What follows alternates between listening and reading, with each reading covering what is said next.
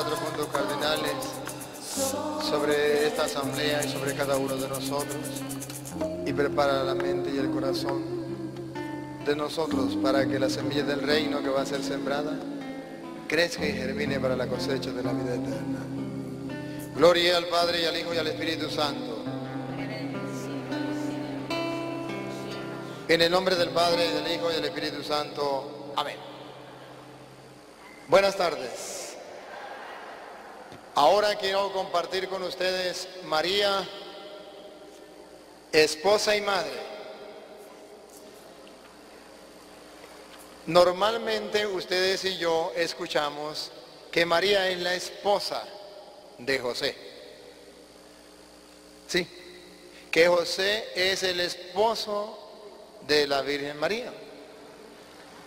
Así como ustedes y yo escuchamos de que Jesús es el hijo de José. José es el papá de Jesús.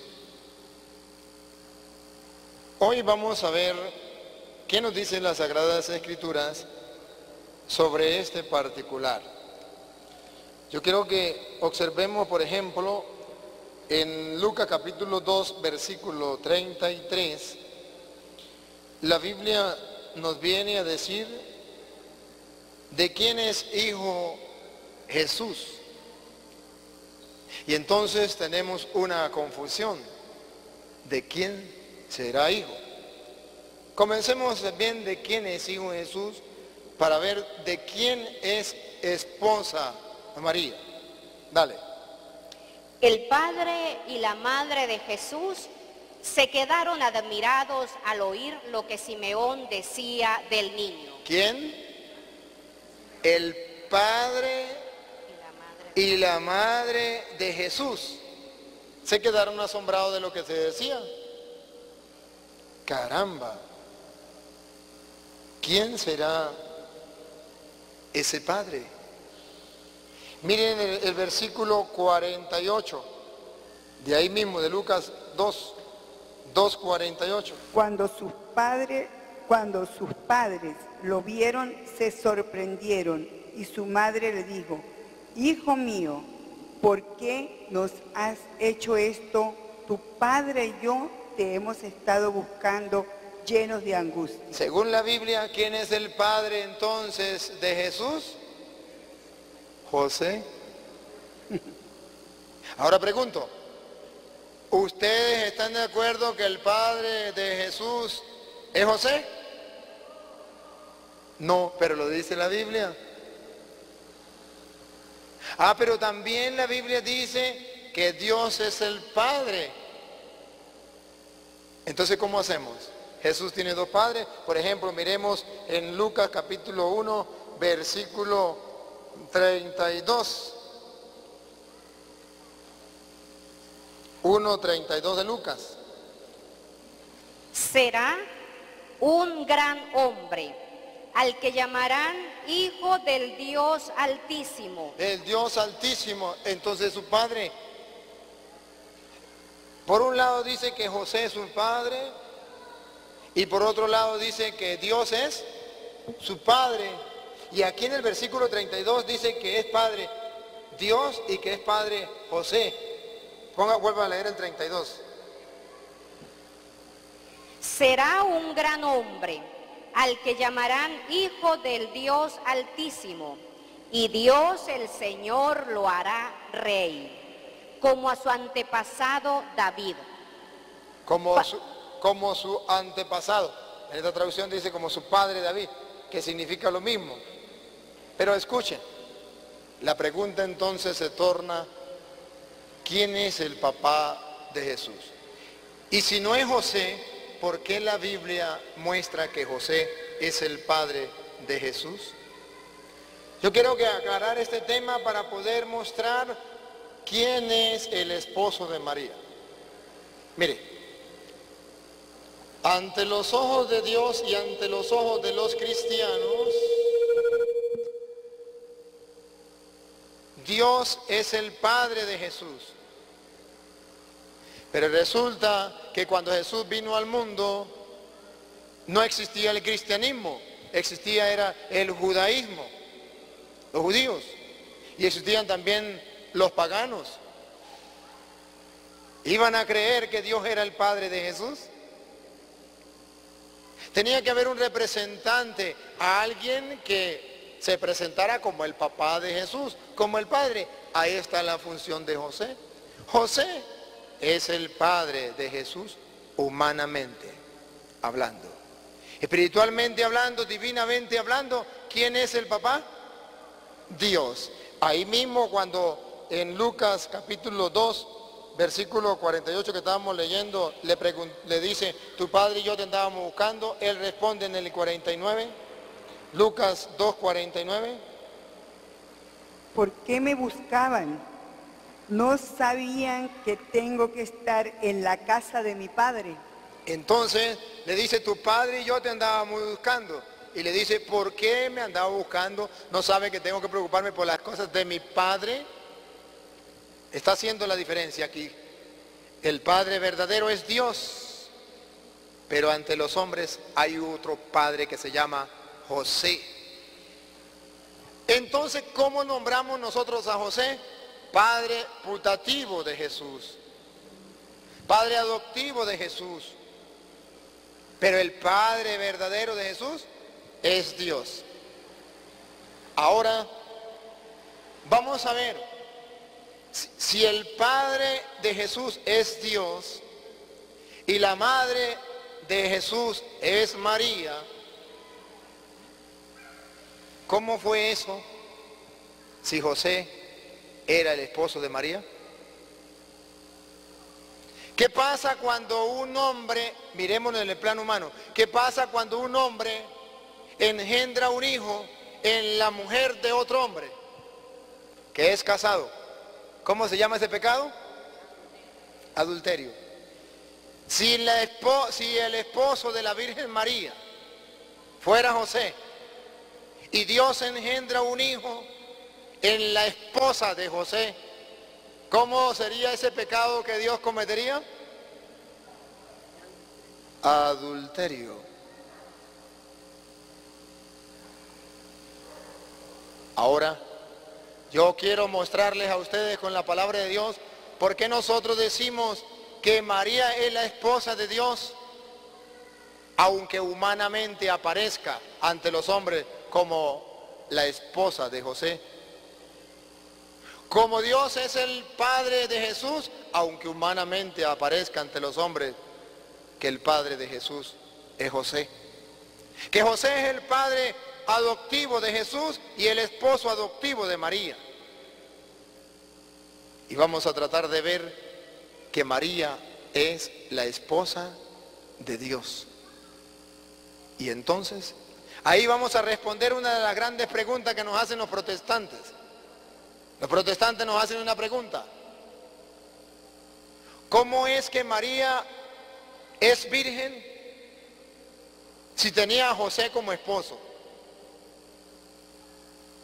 Claro, si usted lo mira desde el punto humano y usted comienza a pensar desde el punto humano, José, perdón, José es el papá de Jesús, José es el esposo de María, lo más lógico que un esposo tuviera relaciones con su esposa. Eso es lo más lógico. Y eso no era malo. Dentro del pueblo judío, ¿quiénes podían tener relaciones sin cometer pecado? Los esposos. No había ningún problema. Y si José era esposo de María, podían tener relaciones, no había ningún problema. No había pecado. Pero ¿por qué nosotros, los cristianos católicos, decimos que José no tuvo relaciones con María? Es más todavía, ustedes recuerdan que allá en, Lucas 2.41 recuerdan que dice que lo encontraron eh, en el templo perdido en medio de los doctores. ¿Cuántos años tenía? 12 años. Y ahí estaba José con María. Ahora le pregunto a los esposos, ¿usted sería capaz de pasar 12 años con su esposa viviendo bajo el mismo techo? el cholo, ella chola y la cacha chola. Siendo su esposa y naná y naná. ¿Cómo se explica que José tuviese 12 años con María bajo el mismo techo, en la misma casa? ¿Por qué no tenían relaciones?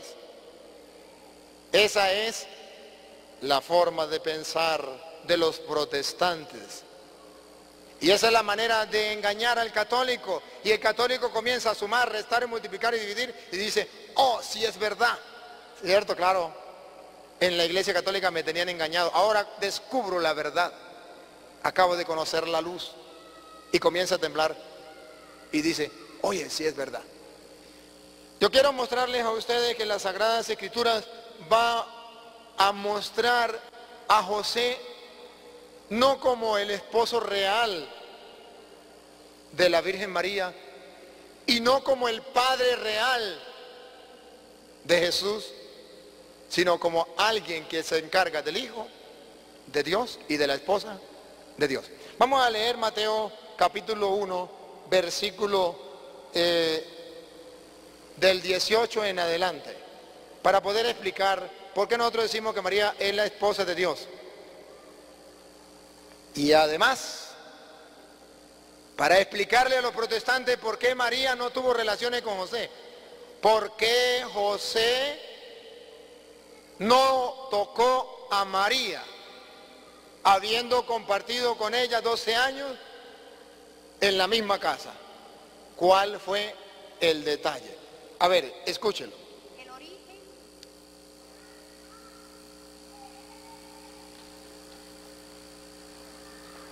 Mientras ellos la encuentran, necesito por favor dos parejas, dos hombres y dos mujeres. Aló, allá. Por favor, pase para acá, dos hombres y dos mujeres, pase para acá. El origen de Jesucristo fue este. El origen de Jesucristo fue este. Pongan cuidado cómo fue el origen de Jesucristo. Aquí viene una mujer, María. aquí viene un hombre, falta otra parejita. A ver, aquí hay una parejita. Ah, déjenme un segundito otro hombre y otra mujer, uno que se considere hombre. Venga para acá, Leo, que se considera hombre. Otra mujer, venga.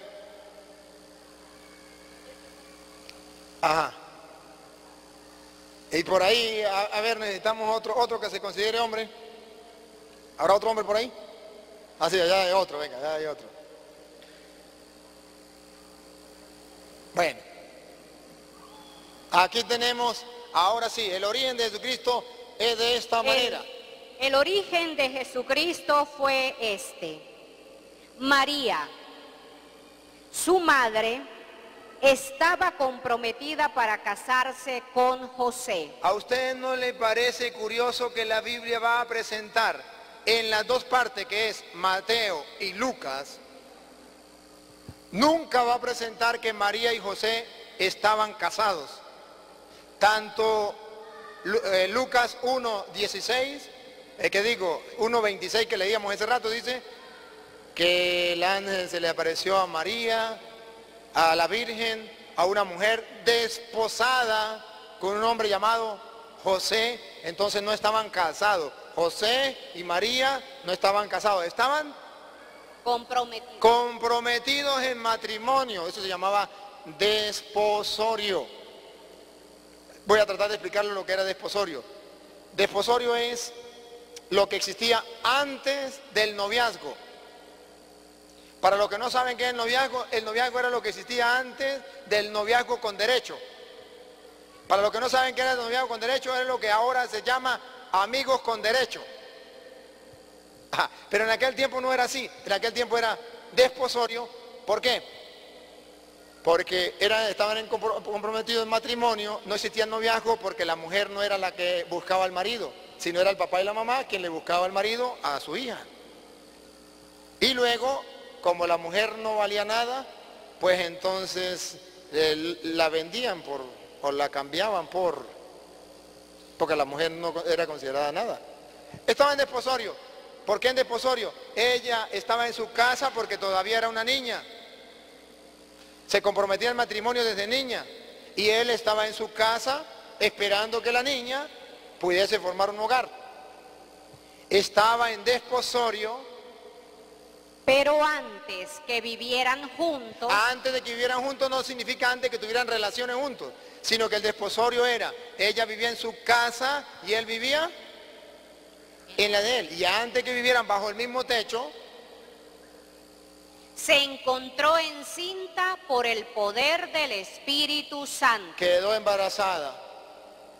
Quedó embarazada. ¿Qué es lo más lógico cuando José se da cuenta que María está embarazada?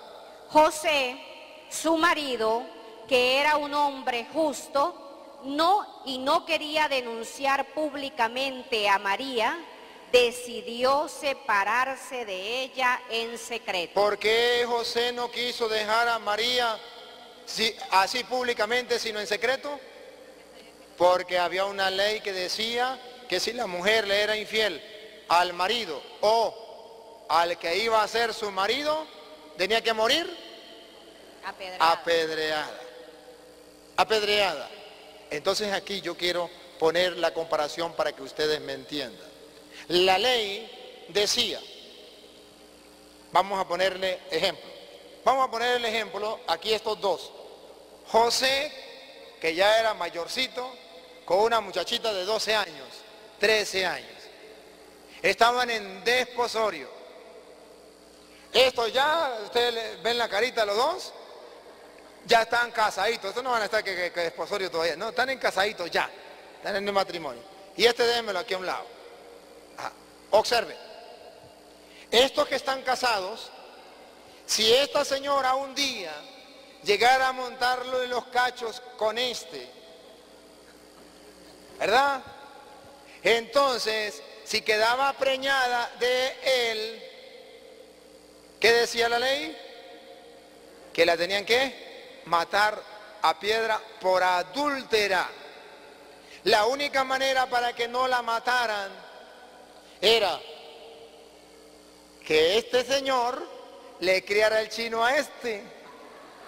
Y macho que se respeta no le va a criar chino a otro. No. Entonces, ¿qué pasaba? O imagínense que tenían que matar la piedra y la mujer moría piedra. Si él no quería criarle el chino a él, pero tampoco la quería que la matara, entonces él hacía algo muy sabio. Se iba. Se va en secreto, la deja. ¿La van a matar? No, porque la gente no va a decir que fue que le montó cacho con este. La gente va a decir, mira el Leo, preñó a la mujer, vagabundo ese y se fue. Pero no mataban a la mujer, ella no era culpable, porque fue supuestamente de su marido. No había más opción. Esto era la pareja cuando eran casados. Siéntese, gracias. Venga para acá. En el caso de José y María,